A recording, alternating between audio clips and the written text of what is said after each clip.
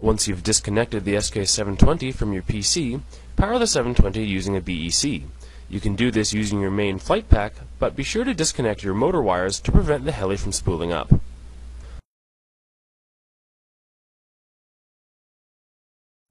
The first step of swinging the compass is to spin the heli on its horizontal axis. This is done by holding the helicopter level and slowly making two and a half rotations.